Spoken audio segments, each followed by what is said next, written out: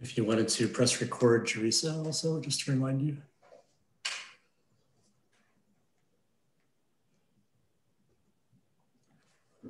Wait another minute, and then we'll get going.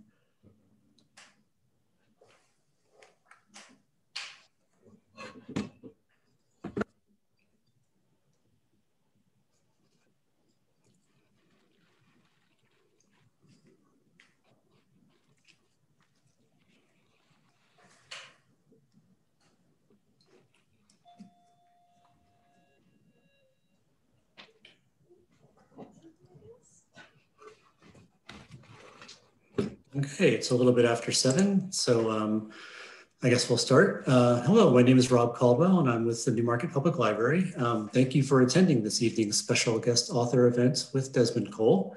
The library is proud to once again partner with the Newmarket African Caribbean Canadian Association for Black History Month this year on today's event, as well as the successful panel discussion earlier in the month.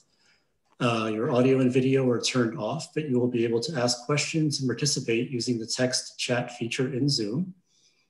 I'll now introduce Teresa Grant Hall, who will present the land acknowledgements, and then we'll introduce the speaker and moderator. Uh, Teresa is an innovative and strategic thinker who is committed to moving our communities forward through partnerships and cooperation. Teresa holds a master's degree from York University and has developed specialized knowledge in the principles of race relations, equity, diversity, and inclusion. She is the founder and chair of the Newmarket African Caribbean Canadian Association, also known as NACA, which is a registered nonprofit organization that is focused on building and connecting communities, supporting and strengthening Black families and businesses, and empowering Black youth. Teresa is chair of the Town of Newmarket Anti-Black Racism Task Force and was a member of the steering committee, as well as the working group to work closely to develop the anti-Black racism strategy for the York Region District School Board.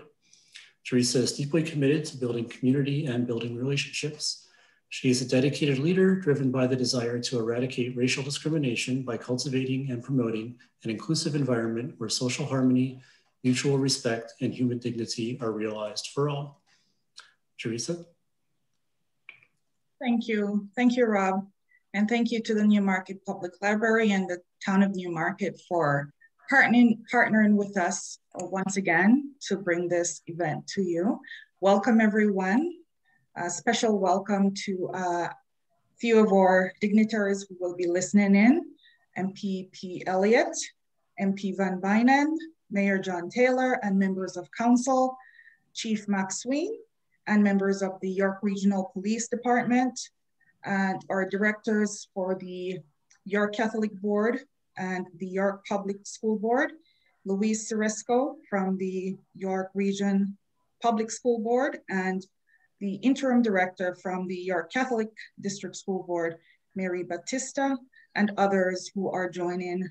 A special welcome to all uh, our community members and those attending today's event. I'd like to start off by acknowledging uh, those, those pro-activists and activists that came before us. I'd like to call on a few names um, to acknowledge that we didn't get here in this place on our own. We get here, we got here in, into this place by the work um, and the endurance of these stalwarts like Nelson Mandela, Marcus Garvey, Bob Marley, Viola Desmond, Rosemary Brown, Hodan Nalayeh, and my mother, Iris Malcolm. So I want to acknowledge and honor those who've come before us and upon whose shoulders we stand. Before we begin, I want to acknowledge that the land on which we gather is the traditional territory of the Anishinaabe, Haudenosaunee, and Wendat peoples. I also acknowledge that we convene this meeting upon the treaty lands of the First Nations of the Williams Treaty and the Chippewas of Georgina Island First Nations as our closest community. We also acknowledge that we are all treaty peoples, including those who came here as settlers, as immigrants, either in this generation or in generations past, and who came here involuntarily, primarily as a result of the transatlantic slave trade. We must also recognize the fact that this colonial nation is founded in historic and ongoing dispossession of this land's indigenous peoples and African descendant peoples. Today, we especially pay tribute to the ancestors of those of African and indigenous origin and descent. As an organization that centers on social justice, we feel it is critical to be informed on the past and the ongoing consequences of colonialism. We encourage everyone to learn about the history of these lands and to support resistance here and across Turtle Island. I give thanks for the land that nourishes us and enables us to live in communities. May we continue to aspire to nurture and care for this land and for each other. Thank you, and over to you, Rob. Thank you. Um, our moderator this evening is Michael Bowe. Michael Bowe was born in the Bahamas and subsequently raised in Jamaica during his formative years. He has over 22 years of experience as a respected equity and community engagement specialist and advocate. Uh, Mr. Bowe has a master's degree in social work from York University and has worked in the field of child welfare for over 20 years. As a former employee of the Children's Aid Society of Toronto, he founded Soulful Journey, which is a series of excursions that offer, offer participants such as children and youth in care, foster parents, and staff an awe-inspiring view of the African Canadian experience. Michael works to engage diverse communities, organizations, and service recipients and residents towards collaborative work and mutual responsibility for the well-being of children, families, and their communities in a manner that embraces equity and anti-oppressive principles. He has developed and delivered training programs focused on unconscious bias, anti-Black racism, anti-oppressive practice, decolonization, and other forms of isms and equity frameworks. And our main speaker this evening is Desmond Cole. Mr. Cole is a journalist, activist, and author. He has spent the last 10 years reporting and commentating on politics and social justice. He is especially interested in the struggle for Black liberation within Canada. His work includes 10 years of local and national news coverage, five years of radio broadcasting at News Talk 1010, a disruptive opinion column with the Toronto Star, and an award-winning magazine feature. His first book is the number one national bestseller, Skin We're In, A Year of Black Resistance and Power. Welcome, Mr. Bowe and Mr. Cole. Thank you, thank you. Thank you so much.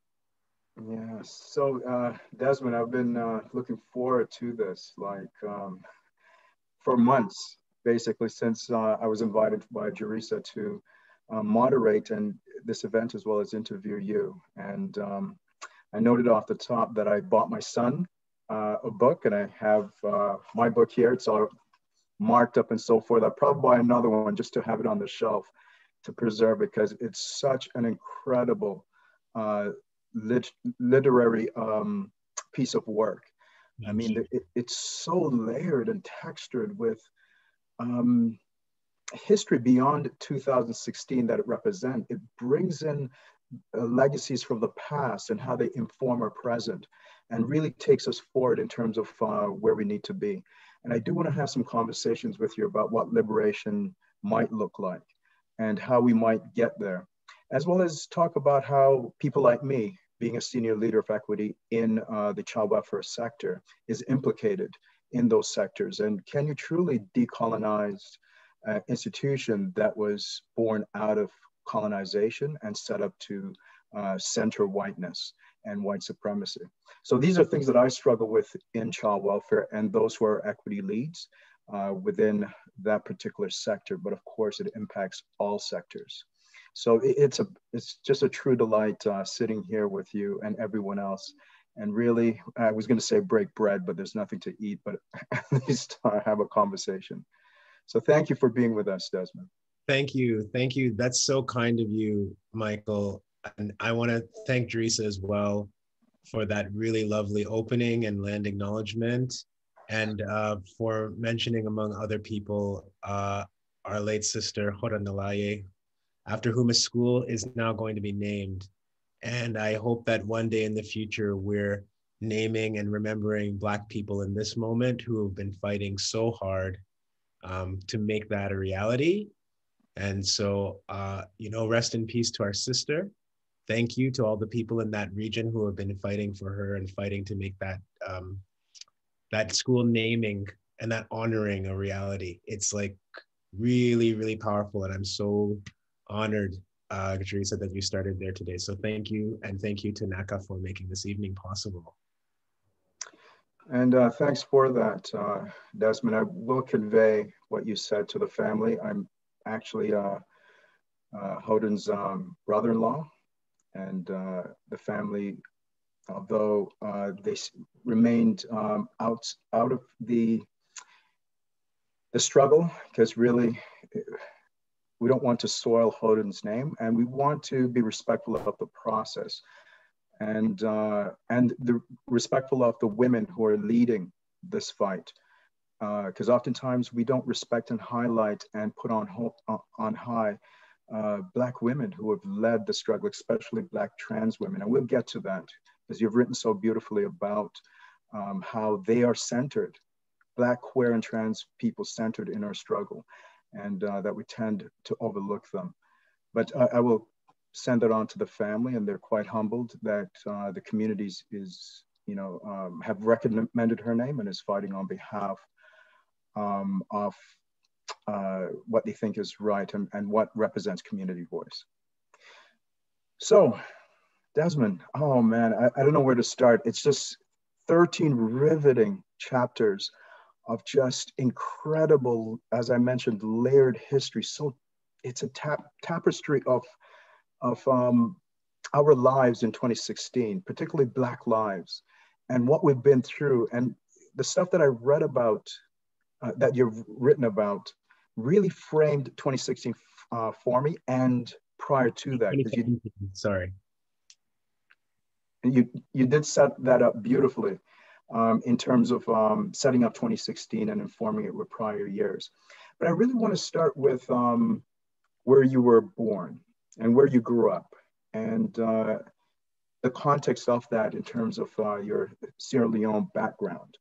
Uh, you mentioned that you were born on the flatlands of uh, Red Deer, Alberta. But of course, uh, your, your parents and your, your lineage extends back to Sierra Leone. And uh, then you, you left Alberta and went to um, Oshawa.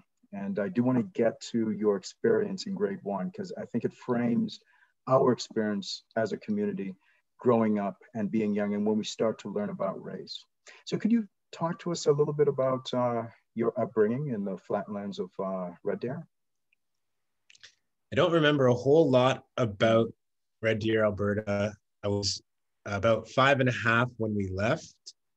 But, um, you know, I think what I remember is even at a very young age, you may not understand what race is. But when you live in a place like Red Deer in the late 1970s and early 80s, you can't not be aware of your race as a Black person living in that very, very white space.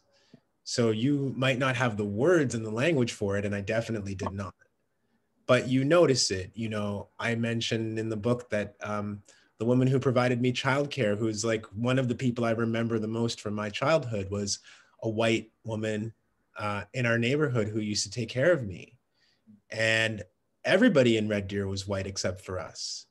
Uh, and so it felt noticeable to me as a child, but I didn't know how to talk about it.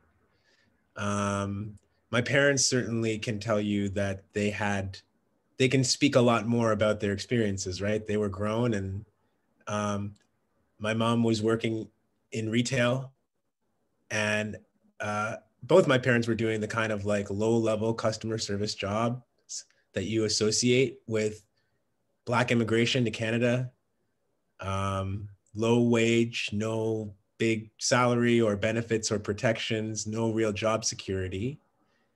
And um, like a lot of people that i know in the late late 80s my parents moved out to ontario thinking you know economically maybe we'll have a better prospect out there. And the, the, the cycles the upswings and the downswings of Alberta, they made a lot of people move at certain times, and a lot of people moved out of Alberta during that time, including us. And um, we ended up in Oshawa, which is another really white uh, place, uh, you know, mainly white working class kind of place. And um, as I grew up, you know, getting a little older, you just become more and more and more conscious of race all the time. Mm. So that story that I share in the book about coloring with my friends, and one of them asking for the skin pencil crayon, right? And there's just like this awakening because you recognize that when these white kids are saying the skin color pencil print crayon, pass that one, pass that one, they're not talking about your skin color. And they're not even aware that they're not talking about your skin color right in front of you. So it was just a moment that I remember. And as you get older, you have more of those. But I think all of us, as Black Canadians, um, if we grow up in particularly white spaces we have these experiences and all of us as black people in the white spaces that we have to occupy whether we grew up in them or not are familiar with what i'm talking about here. You know you just become more and more conscious of it though the older that you get. So true so true. And i i really related to that story because i remember um, being around the same age in grade one as well when i really became conscious that there wasn't a skin color for me and that I had to use the brown that was dedicated to coloring the tr tree bark, as you mentioned, the wood, uh, trees, uh, for my skin color. And that's when I began to realize that there's a difference here. So you, that really centers whiteness um, in your book and white supremacy and how it begins to frame uh, young Black kids really early in life. And it, it, as you mentioned, it travels with you. So let's fast forward to John Samuels and what happened uh, on New Year's Eve. Uh, having rented that space for just 10 months and uh, the debacle over the, the, uh, the liquor license and what took place and what, what was lost during uh, that time and how it also framed how police engage the Black community. Because I think you did a wonderful job in with that story wrapping around the larger story of us all. So this is the story of a young man, John Samuels, who, um, you know, he he told me that he really always wanted to have his own physical space somewhere in the city as a mm-hmm. young artist who was doing visual art, who had dance shows and was a really accomplished dancer, who had a crew of dancers with him. They they you know they really came up together wanting to have their own place to rehearse, to have shows. And they didn't have that, but it was a big dream. And he told me that um, he mentored under somebody for a while and then he thought, you know what? He was about 22 and he said, I think I'm ready to do this. Like, I, I'm ready to get my own space and start running an art space in the city of Toronto. And then I want it to be for other Black folks like myself. So he was uh, able to actually get a space that was up to be demolished. Uh, and he got a short term lease in it. And so he's living his dream. He has this space uh, in the kind of High Park area on a main street. He's got a storefront and he starts doing his thing. He starts doing art shows, he starts doing dance shows, poetry readings, and um, inviting other people to come and curate and do things in his gallery. But he says that you know, there's always negative attention from people in the neighborhood. And after long, uh, the cops start showing up unannounced all the time and uh, criminalizing him, searching his place, asking him a whole bunch of questions without any cause, just treating Black people the way that the police are trained and have historically treated us. Um, what this leads to is a raid of John's art gallery on New Year's Eve. Um, I don't want to tell the whole chapter, so I'll say no. that um, all of this attention against John and this surveillance culminates in the police coming to his uh, uh, um, his art gallery on New Year's Eve, telling all of his guests in the uh, space who are having a party that they have to leave and go home, attacking John and assaulting him. And of course, because John is, you know, I'm going to guess a buck 40 soaking wet. It's not a big person, not that it ever matters. But he is charged with assaulting like the, you know, 20 officers, one of the like 20 officers who came to raid the art gallery, smash the window. This was all caught on tape as well by multiple of his friends. Right. Video. Um, John's experience really makes me think about what I call that chapter, which is Negro Frolics. Mm-hmm. It makes me think about how 300 plus years ago, sorry, 200 plus years ago, something like 240 years ago in what is now Nova Scotia, there was a law made against the first uh, Black people to kind of permanently settle in that area, the Black Loyalists.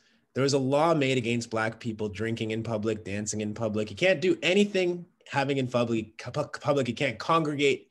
We don't want to have too many Black people in the same space. This is 240 years ago. Mm. But what's what's different about what happened to John with his friends? And you know, I'll, I'll encourage people who haven't read the book to read it the white psyche teaches people to think of a reason why such a police response would be justified. It doesn't assume that John and his friends aren't doing anything on New Year's Eve. It assumes that there must be a reason why the police came and raided their party, smashed the windows, and arrested John. It presumes Black guilt instead of the system that tells us we are innocent until proven guilty. We all know that the whole reason that a young man is receiving all of this attention from the police the second he moves into the neighborhood is particularly because he's black and that people around him who are white and surveilling him are afraid of his presence. So we just see this over and over and over and i called the chapter negro frolics because the name of the law forbidding black people from drinking partying dancing in public gambling in the 1780s in modern day nova scotia that law was entitled um, a law pro- prohibiting Negro frolics. And I think that we should be honest with ourselves in the 21st century and say that when this is happening to our children, and we're seeing these things on the news, nothing really has changed in that regard. There's no new reason why this is happening to Black people. It's the same reason as it's always been. And that's what I found is the centerpiece of the book is connecting it once more the past with the present to show that this isn't new. This has been happening for eons. It just might take on a different form, but it's still here with us. And I love the way you, you did that connection to the pat from the past to the present. Now, you start to frame out what white supremacy, and you did a really good job in providing a fresh look at it from a different angle. And I'm just going to uh, read something from page nine because I think you did a really good job in in uh, introducing it and framing it. So you have your whiteness is an impeachable rubber that deflects collective human failing. Nothing sticks to whiteness. Blackness is the glue, and every negative thing that gets hurtled at it sticks. A more concise version of the rhyme was the always popular quote, I know you are, but what am I? The modern incar incarnation of whiteness resists exposure and definition. White supremacy thrives in large part by avoiding being named or identified. When confronted with its own violence, whiteness simply flips the script. I know you are, but what am I? Whiteness can rhyme off the sins of blackness, even as it resists any collective agency or responsibility for itself. So long as the spectrum of blackness looms largest, whatever whiteness is doing cannot be so bad, or at least can't be worth mentioning.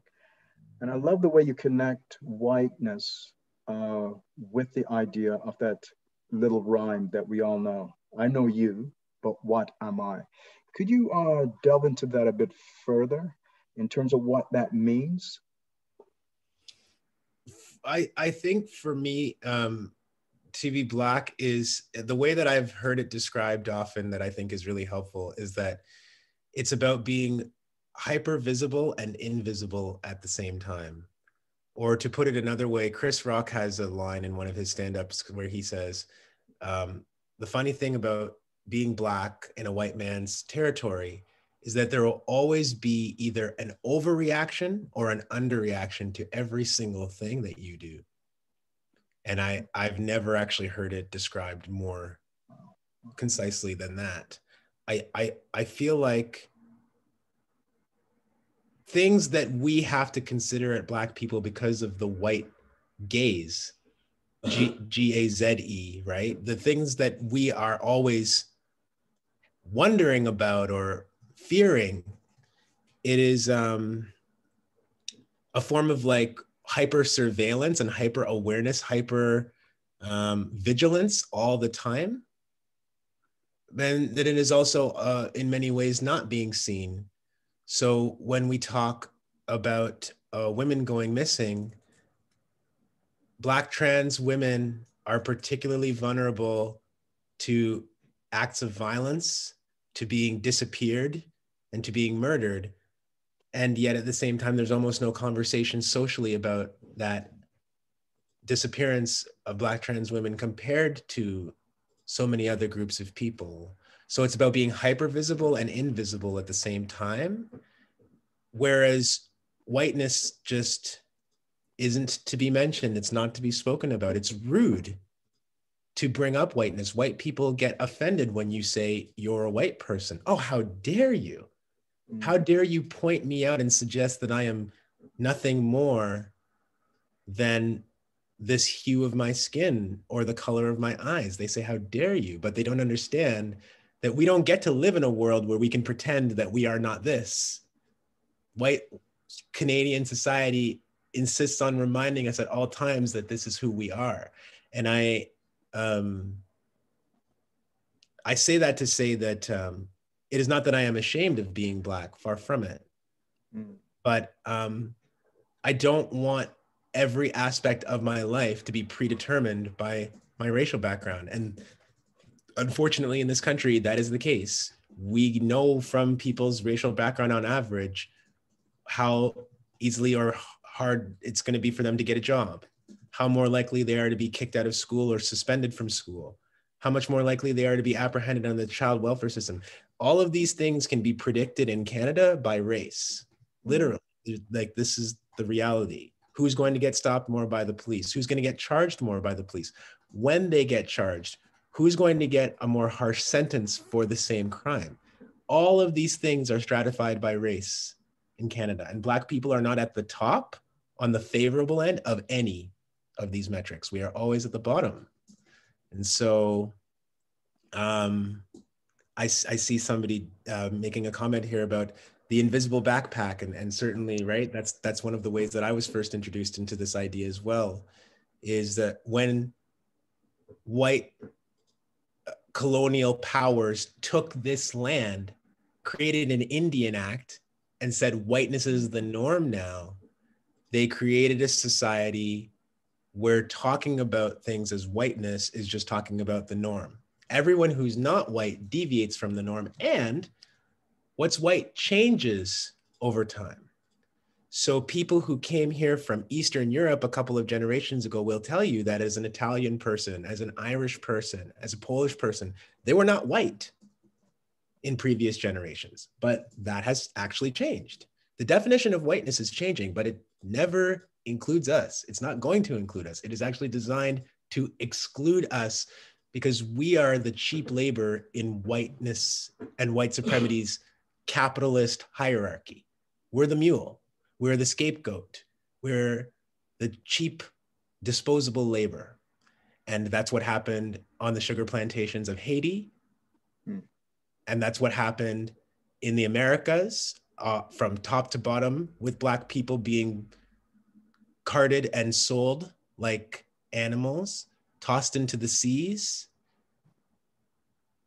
in order to justify their white domination white settlers and white colonists created this philosophy of superiority that is still with us today. And so when I say that, you know, I am rubber, you are glue, it bounces off me and it sticks to you. That's what I mean. Whiteness is always trying to deny its own presence and existence, but it's always saying, Do you notice this about Black people? Don't you notice that about Black people? Hey, somebody moved in over across the street and he's Black.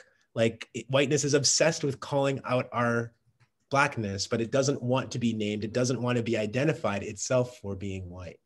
And that is, um, it's a really frustrating thing to try and overcome because how do you address something in your country that the majority of people who live in your country want to be in denial about, don't want to address because it makes them feel bad because they personalize it and say, You're saying I'm racist. You're saying I'm a white supremacist.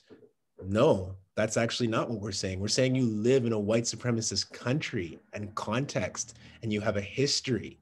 That's what we're saying. We're not saying you personally, but it's very hard when people are in constant denial when they're saying, I know you are this, but what am I? It's very hard to start addressing the impact of white supremacy and the, the destruction that it causes. Because some people are benefiting from that destruction while they keep us at the lower end of that hierarchy.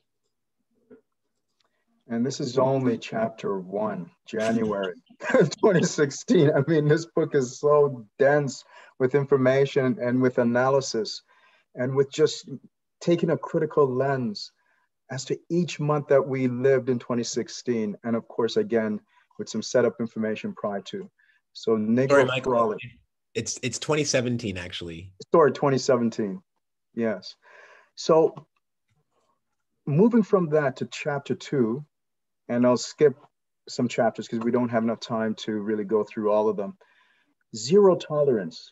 And many of us would be, hopefully, would be familiar with uh, the story of uh, that young six-year-old girl. And as you mentioned, she, she, was only 48 pounds, and she was shackled by two big police officers um, within uh, the Peel, Pub- Peel District Public School Board.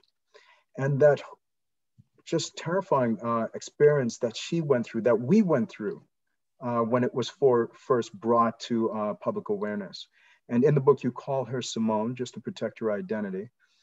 What came out of that in terms of how the police operate in that regard? We talked about John Samuels and what happened there, and you really set up our long-standing, um, you know, back and forth struggle with the police and oppression that evolves from that. Now you're looking at a six-year-old girl that has been shackled by two police officers and how the police responded and how they failed to get other institutions involved. And why is that? Yeah, um, this story is so difficult. But for me, um, this story and that chapter, Zero Tolerance, is about what you were mentioning earlier, Michael. It's, a, it's about Black women in our community who are taking the lead in fighting for their children's education and who are encountering all kinds of obstacles mm-hmm. in tr- just trying to seek basic safety for their children at school. Um, black mothers, black women fighting so hard against these huge structures mm-hmm. that are not designed for them or for their kids. And um, so the it's it's the mom of the child I call Simone. Um, it's her mom, whose name I also protect, um, who really leads this fight after finding out what has happened to her daughter, mm. and whose courage in speaking out about what has happened to her daughter mm. forces the police to open an investigation because they don't immediately open an investigation when this happens. They wait months until she goes public with it. I call mom Brenda in the book. Um, that's not her name, but Brenda goes public with this and um, you know, her steadfastness and her resolve to get justice leads her to the Human Rights Tribunal. And this goes beyond my telling in the book because it was only um, late last year, if I remember correctly now, that the Human Rights Tribunal, four years plus after this incident occurred, awarded the child $35,000 in damages and acknowledged that her race was a factor in the way that the police treated her when they shackled her and held her face down on the floor for half an hour. Now, we in the Black community all knew that race was a factor. No one needed a human rights tribunal to tell us that. I think the bigger issue is Michael, I can't tell you the names of the two police officers who came into an elementary school and did that to a child. I can't tell you their names because their names were never released. I can't tell you about any indis- in, internal discipline that they may have faced for doing that because the police don't release that kind of information. Mm. I can't tell you what they did before they shackled a six year old girl in her classroom or what they've done since. And this is in a uh, region in Peel where police officers have taken the lives of Black people in the last year, including Jamal Francique, D'Andre Campbell. Police took the life of Ejaz Choudry in 2020. You know, police shot Chantel Krupa in 2020 or in 2019. I mean, this is a board that is responsible for an overwhelming amount of violence. The murder of Marc Ekamba-Boekwa a few years ago, Jermaine mm-hmm. Carby shot in his car or just outside of a car in Peel region. Like this is one region of the greater Toronto area. It's not even the region that most people associate with the GTA, which is Toronto proper. And this is the level of violence that the police are engaging in on a regular. So why are we not allowed to know? Sorry. So they're like my questions are like, why are we not allowed to know the disciplinary records of police? Why do we live in a society where asking for that falls so flat as if people are not interested in it? For God's sake, Michael, there's a case in Kawartha Lakes right now. I can't believe I'm about to utter these words, but there's a case of OPP officers having shot an infant, a one year old child. Hmm. That just happened, you know, four months ago. We've been hearing the news that a baby was shot while there was some kind of a police chase police and the SIU has recently, as of last week, I believe, determined that one of the officers shot into a car and fatally wounded a one year old infant. I can tell you that, Michael, but I can't tell you the name of that officer because they haven't been charged yet. The SIU's investigation is still ongoing, even though they know that one of these officers shot a child. And I think we really need to grapple with what it means. That there's no sense of urgency about that and there's no panic. But when a man is choked to death in the United States, we are all in arms and everyone needs to talk about racism and everyone is more aware of anything that they've ever been. But when it's happening in your backyard, where are you and where is the concern and where is the urgency? Why don't you know the names of the people that I even just mentioned? This is really where my work begins is that mom fighting for her child isn't getting the kind of support that you would imagine is out there when you've been hearing people in institution talk for the last six or eight months. Everyone is an anti racist now. Everybody is about equity, diversity, and inclusion now. But our children are being taken in these streets and you wouldn't know it. And I, I think there's something deeply wrong with that. But you know, that chapter was a tribute to Black women like Simone's mom and to, um, you know, people in our region and in this country, like, um, you know, like uh, uh, Charlene Grant, who's the other person that I feature in that story. And some of you will know Charlene Grant because uh, of the connections to York and her struggle, you know, when she was just trying to deal with an issue of racism in her school and her struggle with Nancy Elgie. So that book, that chapter is a tribute to women who are fighting back and who, who are just caught in these situations while the majority of our society either watches or puts the blame back on black mothers as being black bad parents as being responsible for the police's violence against them against the, the school's violence you know, there's a lot there. I could, you know, I, there's so much we could talk about, but you know, that that's really what I think about is that some of us have to bear such a huge responsibility for these issues because others of us are refusing to see them and acknowledge them. And I appreciate you really taking the time to go into that because it speaks to, and you, you quoted uh, some stats from the Toronto District School Board in that you said Black students only make up 13% of the population, the student population, but represents 48% of suspension. And when it comes to white youth, it's 10% that are suspended only.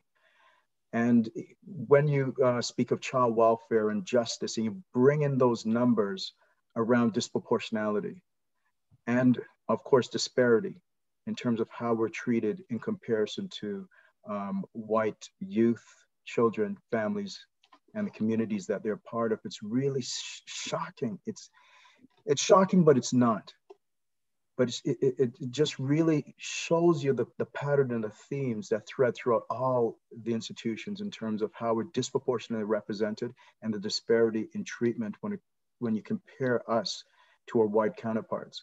Now, you'd mentioned uh, uh, Nancy Elgie, and of course, uh, the, she using the N word, and another person from the board hearing it. Uh, Charlene didn't hear it, and actually uh, making Charlene aware. And of course, it came to the fore and another struggle had to go on in order to um, make that wrong, to at least address the wrong. Yes. And you, you brought up a term, white supremacy improv. Could you explain what that is? White supremacist improv is something that, again, I think we all know as Black people what this is. And it's when you hear a story like the story involving Charlene, where a white woman, Nancy Elgie, who isn't worried about who's listening, refers to Charlene Grant as the N word. And she does this at the end of a York Region District School Board uh, uh, board meeting that was to address equity issues you know? And she she says this word and her colleagues hear her saying this word directing it at a black woman at charlene grant. And what you get after that is that the toronto star gets a hold of this information and publicizes it for the first time in late 2016 and nancy elgie is very defensive and she doesn't want to come out and categorically deny that she said that word so she's not like oh i've never said that i didn't say that she's using kind of evasive language to not answer whether she said it or not. And what you get is you get all of these white sympathizers in very powerful, influential places in our media who start creating an imaginary story of why a white woman would say this to a black woman, even though it's not what happened. They start fantasizing, well, what if the reason she said it was this? What if the reason was that? I heard that Nancy Elgie fell and bumped her head a couple of weeks before she said this. So, what if the reason she called Charlene the N word is because she had recently fallen and hit her head? And people legitimately said these things and tried to pass them off. This is exactly like when Rob Ford was uh, exposed as having used the N word and many other horrific racial slurs. And people said, well, he was drunk and high. I don't use those words when I'm drunk and high, so I don't get it. But like, this was an excuse. And this formulating this immediate defensive thing that white folks are taught to do when they hear about racism and they're immediately taught to imagine an explanation that comforts them instead of being like, well, what happened? That's white supremacist improv. And I say in the book, you don't have to be a white supremacist to play white supremacist improv. You don't even have to be white. Because we definitely know in our own communities that the power of white supremacy means that we as Black people are often so hard on other Black people and say it's not even the government's fault, it's not the police's fault, it's Black people's fault for not getting our act together. There are Black people among us who will say that and for me that is that is white supremacy speaking that is a culture that has told us as black people that there's something uniquely wrong with us and undermining our self-esteem undermining our confidence and making us maybe even believe that we have to be harder on ourselves in order to succeed in this white dominated society. So that's what white supremacist improv is. Thank you. Thank you for that. I've never uh, heard that before, and it really framed what you just said, what we all know in community, but often uh, it's denied that it's happening when it does happen. So I'm going to skip over March because that was a um, action-packed uh, chapter, as they all are, and folks need to read it uh, in terms of Abdirahman Abdi and what he went through in Ottawa. And uh, you tagged on a number of different things that went on with Vincent Gardner, for example, and the SIU. Um, and you really frame the history of the SIU in that chapter. You, you just have to read it to see what's going on there and the severe lacking.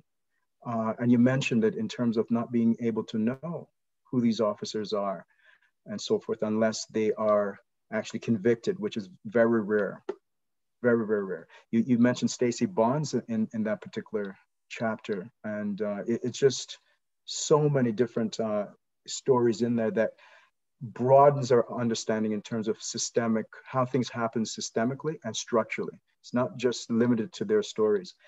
But I do want to get to, um, and that was March. I do want to get to April, direct action, and why you left the Toronto Star when they accused you of um, public protest, engaging in public protest, because it really speaks to people like me to come back to folks who hold uh, senior leadership or equity lead roles within institutions, trying to fix it from inside, from within inside it, quote unquote, reimagine, reform, trim around the edges.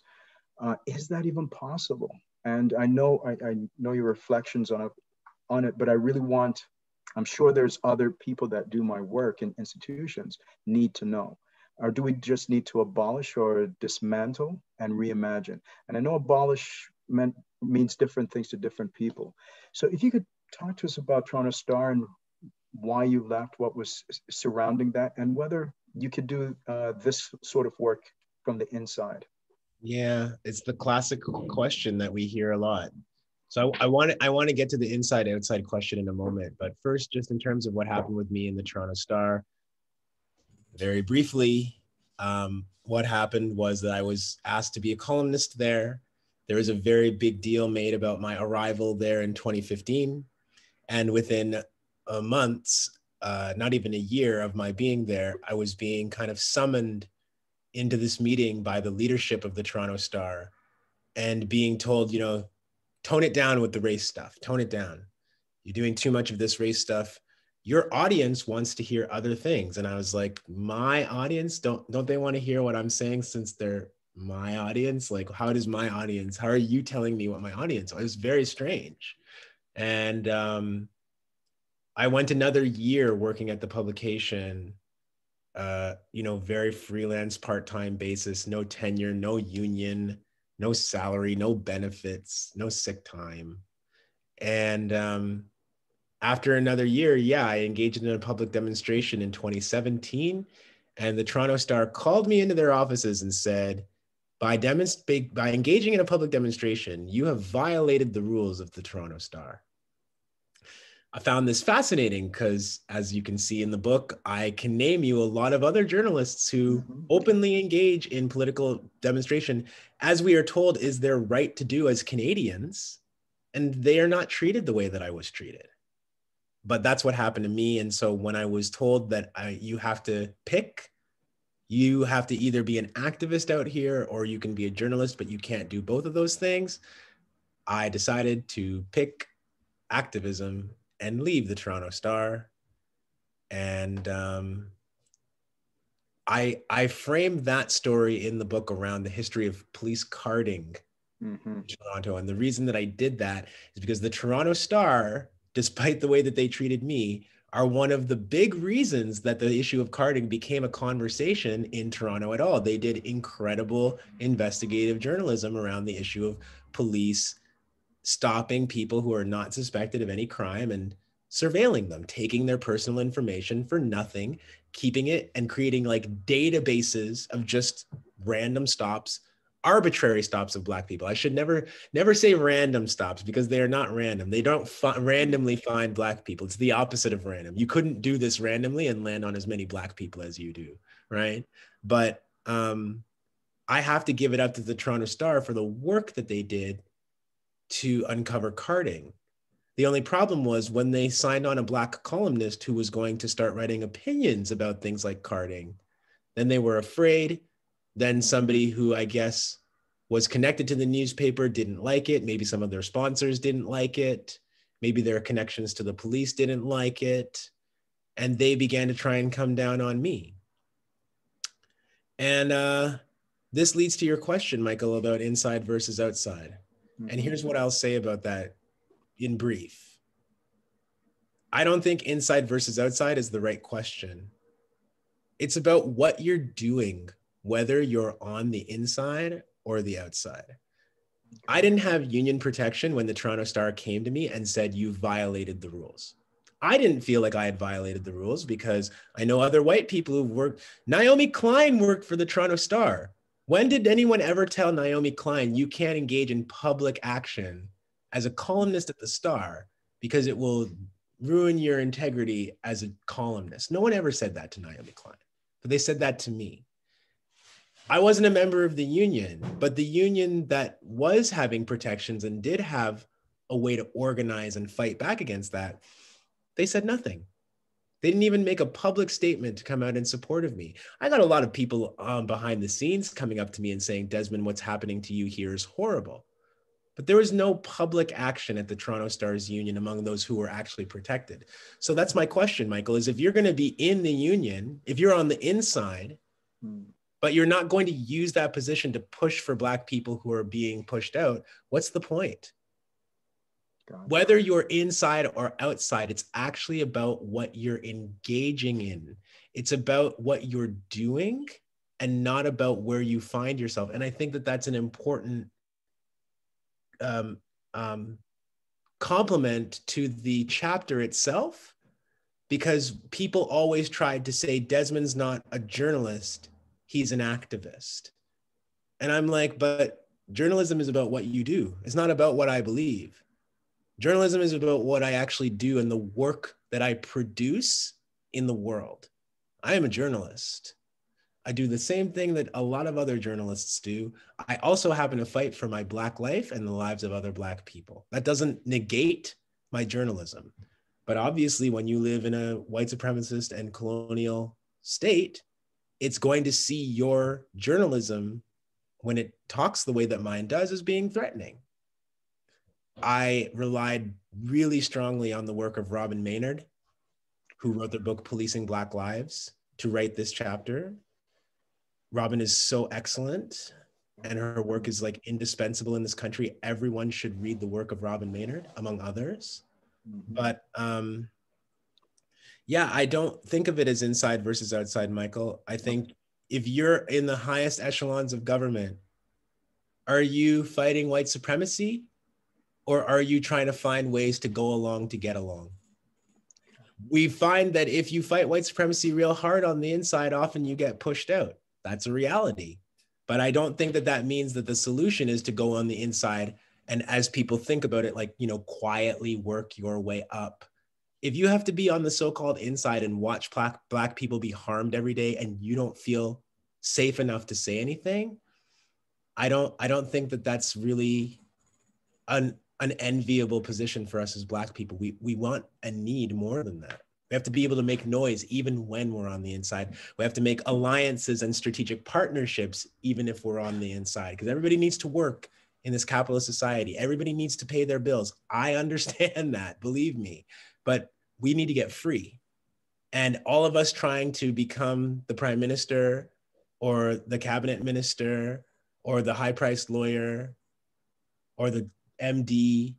I'm sorry, this society is capitalist. There isn't enough room for all of us Black people, even if we wanted to. It's not designed for all of us to be at the top. So ultimately, we have to um, dismantle capitalism and white supremacy and create systems that actually protect and serve Black people you know, but you can do that from the inside if you want to. It just is risky and it requires a lot of different kinds of you know, sacrifices. I made a sacrifice when I left the Toronto Star, you know, but sometimes you have to do that. Wow. Well, I appreciate that. I, I really do. And I think a lot of folks on the line that are equity leads within their organization gives a lot of food for thought. Now we're, we're running out of time and I have to turn it over uh, to a moderation sort of format. Um, but I do want to just frame what else is in, in the book that people have to get this book to, to really begin to grapple and to interrogate and to question what they think they know about what happened in 2017 and what's happening now. So uh, this particular chapter, as you mentioned, you really look at uh, police surveillance and carding of the Black community, and you tether it back to the enslavement of Black peoples. And you also look at how indigenous bodies are surveilled and carded, and you tether that to colonial laws. It, it's a must read. It's a must read in terms of, again, how those legacies come and play out in different ways.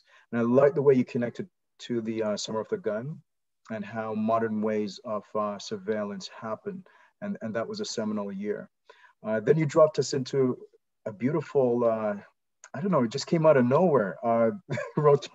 The Royal Botanical Gardens in Bur uh, Burlington and High Park, I won't say anymore. And then you move us through Black Lives Matter and why Black Lives Matter Toronto shut down the Pride Parade uh, just for 30 minutes in 2016. And that's such a riveting uh, story that folks need to understand it. You have to go beyond the media and what, what you're being told and why that happened. And of course, it in, involves Black, queer, and trans women. And and and and and uh, I, I don't want to give too much, but you got to check that chapter out. Um, then, of course, you you looked at uh, uh, Canada 150th and how that went over in uh, 2017, which was a Tour de France in and of itself. And then I, I want to skip through. You, you, you did the uh, you know the school um, uh, resource officers and so forth, which was huge. And that's still uh, something that we're grappling with. So that chapter needs to be read by everyone, but educators in particular and all the boards. I do want to ask you though, before I turn it over to moderating a conversation with uh, the audience, given that uh, the issues around uh, Justice Donald McLeod has surfaced when it comes to the, uh, the Federation of Black Canadians, could you um, if you can, encapsulate uh, a response uh, about what's happening there, because I know it has created a bit of a rift within the community in terms of um, whether uh, you should have uh, talked out against them or not, and so forth. And I just want to center that in terms of um, that conversation, and then I'll turn it over to the, to the audience. Uh, well, thank you for asking the question, Michael. I, I do appreciate it. And I believe as Black people, this is one of those things that it may be deeply uncomfortable for some. It's deeply uncomfortable for me too. But I do ask us to grapple with it. Um, I was invited to the public launch, the public debut of the Federation of Black Canadians in 2017. I was invited to their summit with the Michaëlle Jean Foundation. And I was very interested and intrigued by this group from the beginning. Um, there's so much that I can say. I know. I know. But let me try to just not be, I'll try to be somewhat brief here. I think that if people are organizing as Black folks under a banner to serve their communities, that in principle, that is a wonderful and necessary thing. And I do a lot of that organizing myself. Uh, I don't usually do it under the banner of larger institutions. I, I usually work with individuals on an issue by issue basis for things that I have time for and that I feel passionately about, right? Like many of us. So I have been um, accused many times of being jealous of other Black organizations and wanting to tear them down because I want to be the one to tell everybody how to do their activism. But there are thousands of Black groups in this country, and I've not spent nearly as much time on any of them as I have on the Federation of Black Canadians because FBC made a different proposal than most other groups. And it presented itself in a far different way and had the ability and the resources to do so. That first summit had hundreds of people at it from all across the country, including myself. So obviously, when you get invited to something like that and you look around, you're like, man, something really serious is going on here. But you want to learn about it. You want to learn what this group is going to do, what its mission is going to be, if it is going to be member driven, and um, again, without trying to get too much into all of the weeds, I feel as though the criticism of me, if I understand it and I want to represent it fairly, is that I didn't give this federation a chance to succeed or fail before I began quite harshly criticizing it. And I would reply by saying that we always want to afford Black people the benefit of the doubt when they organize and when they get together. And we always want to say that Black people who are getting together in our communities are pushing for good. And I have to be the bearer of bad news that sometimes Black people in our communities are not always doing things that we can stand behind or that I personally can stand behind. And that doesn't always mean that I have to say something.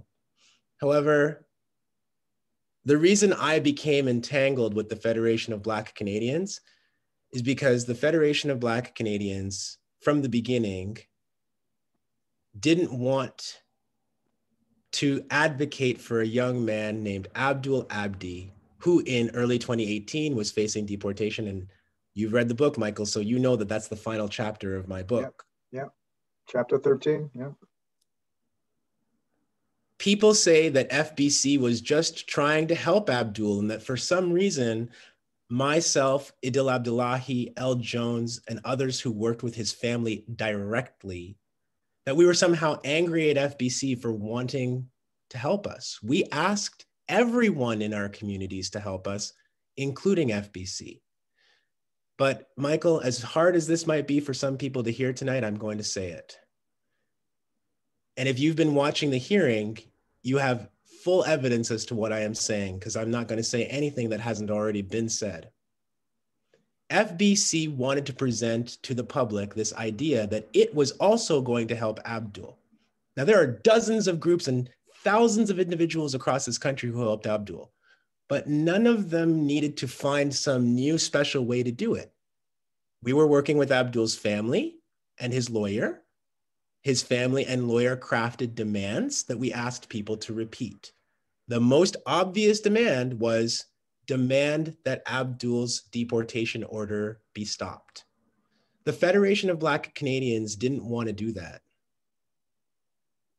What they wanted to do was say, we're going to use our reach and our access to politicians to have closed door meetings about Abdul, and that's how we're going to help. But when we, as Abdul's supporters, working directly with his lawyer and family, sent over things to FBC to say, this is how you can help us, they took that information, locked it up, and put it in a box and never used it. While publicly saying we're helping Abdul, while publicly using Abdul's name to aggrandize their organization. I'm sorry, Abdul and Fatuma Abdi are real people. Some people think that this is just activists and organizers fighting over something. It isn't. These two people's numbers are in my cell phone. I have babysat their kids. I love Abdul and Fatuma. They are real human beings. Abdul was facing deportation and possible death. If you want to help, you can help. But if you want to use this young man's name to say we're helping this individual while behind the scenes you're actually not doing that, I can't accept that. And maybe people people might ask, well, why would anyone do that? Why would anyone promise to help Abdul and not help him? You're just saying that, Desmond. That's not really what happened. Again, if you've been listening to the hearing, the evidence is all there and is public. However, what I would say is when you're a judge with the Ontario court and Abdul's case is before a federal court, I do not think it is controversial to say you're probably the wrong person to be intervening in such an affair. And that's not about Donald McLeod being a good or bad person. It's about his role and his oath to the Court of Ontario. I didn't ask him to sign that oath and swear that oath. He did that. But that necessarily means that maybe you're not the right person to be leading what you call an advocacy group. I did not ask Donald McLeod to go behind closed doors with politicians and make demands of them as somebody in the judiciary, which is against his role. He did those things. And one of his colleagues, a white woman named Faith Finnestad, wrote a complaint about him in 2018 saying, I've noticed that the justice is doing these things and they're not appropriate. Faith Finnestad actually started writing to the ethics committee about Donald McLeod before the public knew that FBC was a thing. Unfortunately, Justice McLeod and many people who love him have decided to make this about me. I shouldn't have reported his misconduct. Is there a way for somebody who says they're leading a Black organization to lie to their employer and not lie to the community? Is there a way to do that? Do we understand as Black people when so folks represent themselves as one thing and then act as another. Are we supposed to accept that because they are black and influential? These are questions that I think that we need to ask ourselves because I think we all agree that no matter who you are, there's a line of conduct that you can cross that is unacceptable. Groups that register as a nonprofit organization, groups that ask the public for money, groups that say that they are going to represent all Black people in Canada, like the FBC, all we ask of them is transparency. I am a journalist. I wrote about my community. I did it for my own blog, which has no advertising and doesn't make me any money. And I have followed this story diligently for three years. People say that they want Black entrepreneurship, that they want Black journalism. But when it is turned against somebody in our own community who may be doing things that are unacceptable, suddenly we do not want that. And we're very angry at journalists. I have to lay my work before people who would judge me and ask once again if you're fighting for two young people, one of whom is facing deportation, is a group that says we're going to help. And then, as Justice McLeod testified today, yes, we took all of their information, but because I'm a judge, I didn't want to get in trouble. So I didn't do anything with that information. Well, then why are you leading an advocacy group?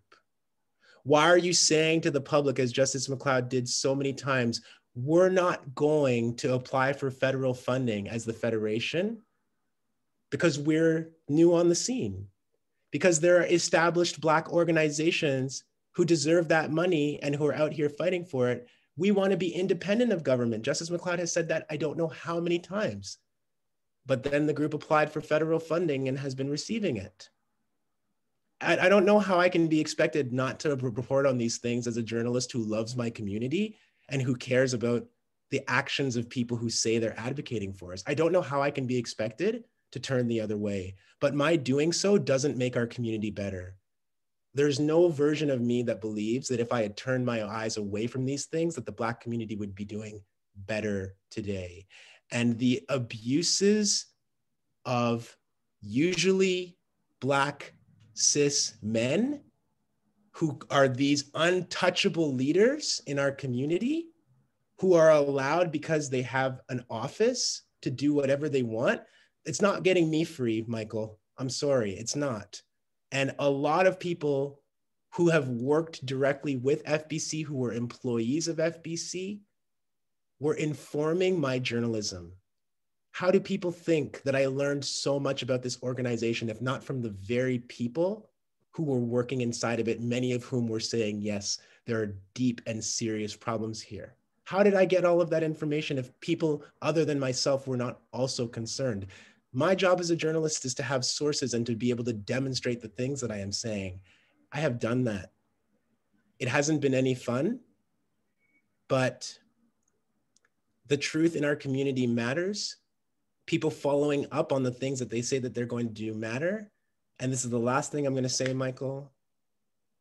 We're living in a moment where Black radical activism is making a lot of people uncomfortable. And I want to speak plainly. The FBC was created through the consultation of Justin Trudeau, Gerald Butts, Ahmed Hussen, and the Liberal cabinet. Those individuals knew that there was an FBC before the public did. And they have been working hand in hand. That is not a group that is going to guarantee the freedom of safety of Black people. It is a group that secured some federal funding for itself and got very, very close to a lot of politicians. But then when a young man is facing deportation, well, now I have to think about my judgeship in my career. I respect that. I respect that. But maybe then don't put yourself in the front of the organization. Maybe don't be the one to go take meetings with the minister when you know you can't do that. Don't promise me and the people working with Abdul that you're going to do something for us and then put that information away and make sure that the rest of your group never sees it.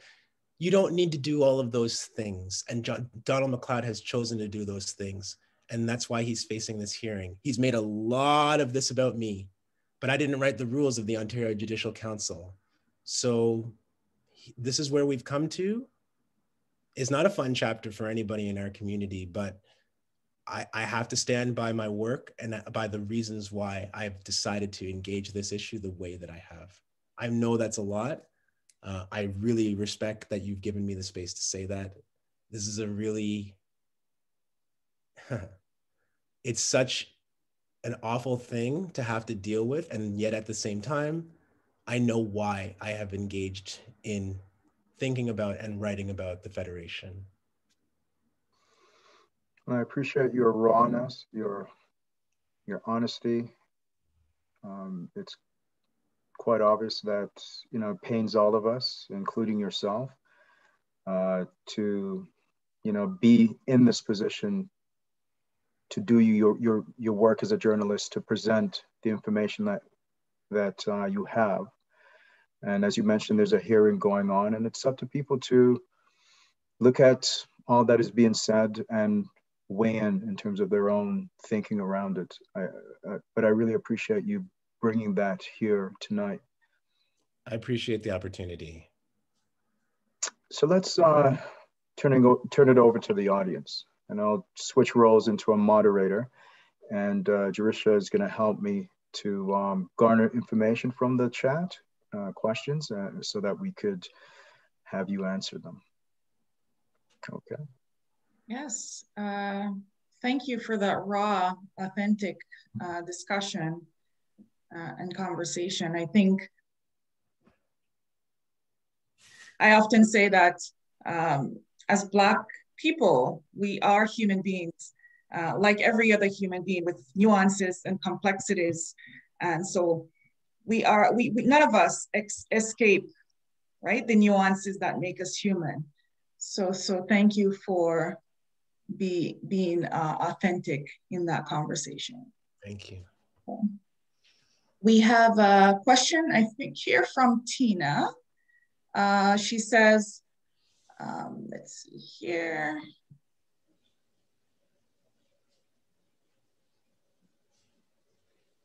I think that question, I'll read the end of the question. What, basically, what can we do as community and parents to support our children um, in terms of the school, the school board? Um, what can we do as parents to support and demand better for our children? I mean, it's a great question. It's a it's a really big question. Uh, I think of all of the things that have been going on in uh, education recently, uh, the the two places that I've been really drawing a lot of inspiration from that are local to us are Peel region, of course, and also Hamilton. In both of these cities, um, people involved in the school system, including students, parents and community members, they have really taken their activism, I think, to a higher level. The organizing that I am seeing in Peel region right now around our schools, it, it's I I actually cannot describe it. Something has happened. Something has awoken in Peel region where people are fighting in a way that I have not seen since I lived in the GTA. Um, recently, I was able to do a, a, workshop with a whole bunch of vice principals in Peel region who read my book. And uh, I was able to do that because um, you know, a year ago, some people in the region read my book and started saying, let's create some study groups and let's create some reading circles to start talking about how this group or how this book may impact our work. And of course, there are stories about Peel Region education system in the book. So it, I find, I think it was relevant for a lot of people. What I can say for the question is, I really encourage you in your organizing and in your struggling in your communities to try and reach out to people in Peel region and to try and reach out to people in Hamilton and to form connections and bonds with them. So, um, you know, there's a there's a group uh, anti-racism in Peel schools. Uh, there's the um, defund Hamilton Police Service in Hamilton. These are groups that have extensive experience now working on campaigns around uh, school resource officers, um, campaigns around trustees in school who've been engaging in racist behavior because unfortunately in the province of Ontario, every board that you look where black people are in any number, it seems like there are trustees who are really just mistreating our kids, mistreating our black families in these regions. And I think we have to share knowledge and so for those who are like i you know i want to start but i'm not sure where to start in my own community. And certainly uh you know formerly uh, vaughan african canadian association but now anchor these are groups that i recommend that you look to if you haven't done a whole bunch of this organizing to learn. Because there are people who have those experiences in your community who are local and who can i think share a lot of really useful local experience and knowledge. We are never stronger than when we have solidarity across, for example, geographical reasons or regions. So when Hamilton, Toronto, Peel, York, and Durham, the day that we all start connecting our campaigns and our efforts together, sharing resources with one another, we're going to be tremendously stronger than we are now. And as I had just mentioned, you don't have to start an organization if you don't want to in order to engage in this kind of work. A lot of really excellent work is going on among organizations, but a lot of it is also going on with just grassroots collectives, groups of small numbers of people in their communities who are getting together to try and take on a local issue. And I find that to be really effective. You know, the group that rallied around Charline Grant in Vaughan, including VACA, was a very small but dedicated group of core people who got a lot of work done. And I think that that's an excellent model and, and can really work. And when people have organizations and institutional strength, we can join together and we can build band forces as long as we believe that we're fighting for the same things. So I would say don't try to start on your own because there's already people in your community and in the region who are doing the same work. And, and it's best to try and connect with them and to learn together. Thank you. So we'll jump to another question. We have a question from, um, from our mayor, John Taylor. Thank you for a fascinating discussion. I have a question. Can you describe what significant improvement in Canada or the GTA would look like from your perspective 10 or 20 years from now? And what are some of the big things that need to occur in, or, in order to get there? Uh, so thank you to the mayor for this question. Um, I'm looking at major municipal areas, major urban areas, not just in Ontario, but across this country.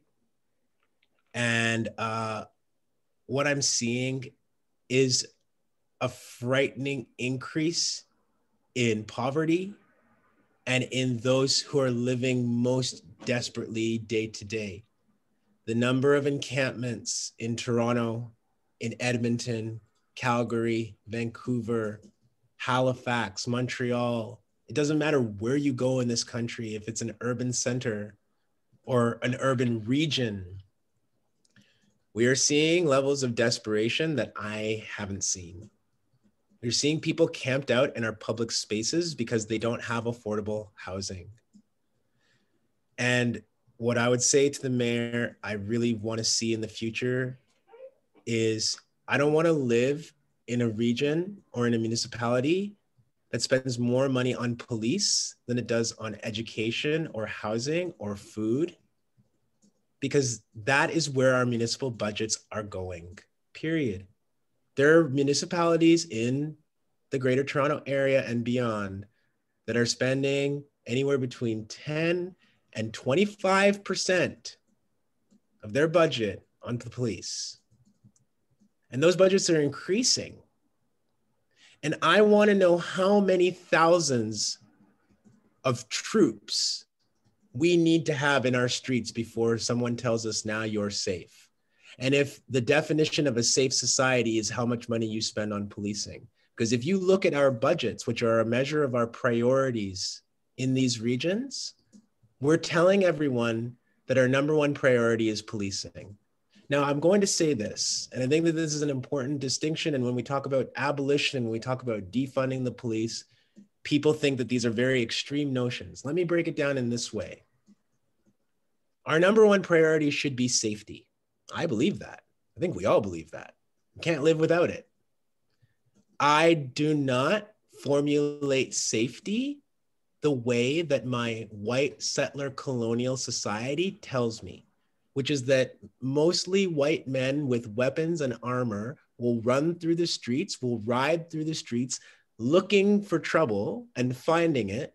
And that will make for a safer society because they will know how to respond and keep everyone safe. I reject that model of safety.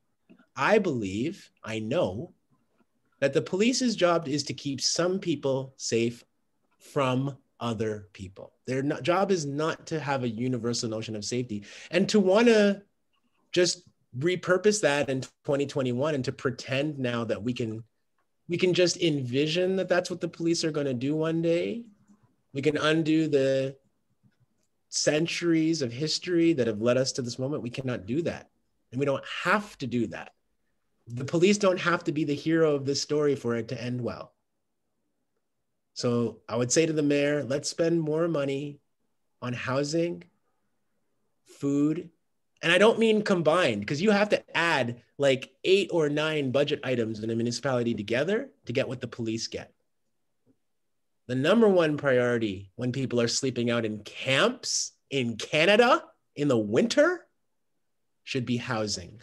We should be spending more money to house people than we do to police them. And what we do is we have people in parks, and Mr. Mayor, someone calls the police because they don't want to see the sight of a poor person in the park. And that's your and my dollars not going to help anybody get out of poverty, but policing their poverty. I want to stop policing social issues. I want real safety in the form of housing, food, good education, all the things that we know are good for people. So you just got to flip around your municipal priorities and then you've got to convince your regional partners to do the same thing and to stop believing in the mythology that men with guns are going to provide our safety. That is not the future.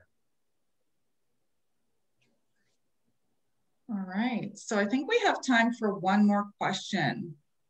So we have a question regarding activism. Jody is asking, how might activist groups address white individual or groups who counter our activities or, or activism and anti-racism and equity work with accusations of bullying and attacking? Well, I do know something about this topic. Um, I have never met a Black person who stood up for themselves and avoided the label of bully. Every Black person who really stands up for themselves and for other Black people at some point in their life is going to be labeled as a bully. And I think what we have to do is we have to find reassurance in our readings because black people for generations my my comrade El Jones always reminds me that our ancestors thought about all of these problems that we are also facing today. They've written about them, they've documented what they thought, they've argued with one another. We're very afraid of conflict in Black spaces because we tell ourselves in Canada there's only a few of us. Those who came before us were willing to argue and debate difficult issues and very contentious life and death things with each other out in the open in public where other people, including white people, could see them. I am not with this 21st century, don't ever expose your differences to the white man thing. I'm sorry. We live in this country. If we want to be like other people, we have to have the right to have different opinions and strengthen each other by challenging and debating and thinking through with one another. That is the way that we are going to get better as Black people. And so, what I would say is, we need to look to the writings and the thinking and the teaching of Black people who have come before us and remember that when we face that, you know, gaslighting and those attacks from white people saying that um, we are bullying them, you know, one of the hilarious news pieces that I always remember was Margaret Wente in the Globe and Mail after the Pride demonstration. She called uh, her piece "The Bullies of Black Lives Matter Toronto," it's charming to live in a society where the police have a billion dollar budget and a group of black people with loud voices and placards can bully the billion dollar police state. That's charming. I like that idea, but it's not real. And we're going to encounter that as black people. We're going to have our confidence attempt to be undermined by people who are afraid of what we're doing. And we have to rely on one another and in the knowledge and the comfort and the care that we can provide each other as Black people and in the history of writings that tell us that others before us, you know, had to struggle with these things too. It helps a little bit, I think, when you realize that you're not the first person who's gone through this. And, um, you know, the support of my own friends, my colleagues, my comrades, as I do this work, you know, people like Robyn Maynard, Idil Abdillahi, my wonderful roommate Huda Hassan, like other people, like particularly black women. And I want to echo what Michael had said earlier and shouting out the black women in my life. That's how I stay grounded. That's how I stay sane is by talking with people, by commiserating with people, by venting sometimes if that's what needs to be done, but thinking through and dreaming and challenging with other black people as well. We need each other to reassure ourselves when forces come to us and try to destabilize us and make us feel kind of make us feel doubt about our struggle. We really do know what our struggle is, and we have to reinforce it, I think, with each other. Thank you. Thanks to everyone. We're we're out of time. We didn't get to all the questions, but I uh, wanted to say thank you so much for Oh, excuse me. I'm so sorry. I just want to quickly add I see that um, Lina Singh is in the chat. Um, and I just want to acknowledge you and say good evening to you. And uh, just proud of you for the struggle that you've been engaging in in uh, York region. I just wanted to get that in. Thank you. And uh, thank you to uh, everyone who did put something in the chat, question, comment, um, and thanks. So thank you, Michael, for leading this riveting discussion. Thank you, Desmond, for being authentic and real um, and, and going into all the different nuances and complexities of not just the society that we live in, but the body that we, we embody as Black people. And so thank you to the Newmarket Public Library as well. I'll let Rob, if you want to come on and see a few closing uh, remarks. Thank you everyone for attending. I'll hand it over to Rob. Thank you so much to NACCA as well. Thank you very much. Thank you, Michael. Thank you. Thank you. That was great. Yeah, thanks Desmond and thanks Michael and Teresa. Um, thank you also to everyone for attending. Uh, we hope you found this presentation informative and thought-provoking. We'll go ahead and end the webinar now. Uh, thanks again, everyone. Bye.